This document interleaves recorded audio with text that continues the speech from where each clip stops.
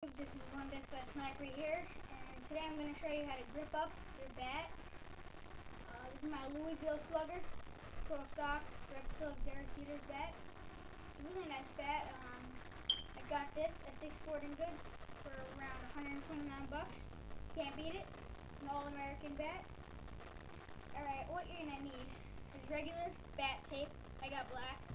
And as you can see, I put it on a good 6 inches here to here. And that's about a good another four from where this blue part is right here.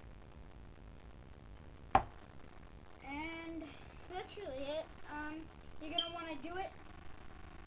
So um, I first measure where um it's good for you. Like mine is right here, as you can see, obviously. First, when, before you buy it, ask them if they could like take it out of the package and see if it's like good tape, like if you could actually like grip it when going like this and stuff like that. I got this also at Dick's Sporting Goods along with my uh, Rawlings mitt you saw in my last video. My Rawlings mitt was about uh, 80 bucks and this was only about 2.99.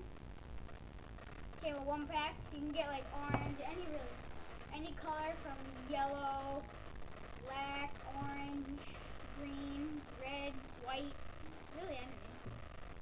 Um, don't get hockey tape. Hockey tape does not work. And that's really it. This is a review on how to grip up your bat with batting tape. Alright, until next time guys, leave um, uh, request a video down below. Um, what's gonna call it? Uh, leave a comment, anything like that.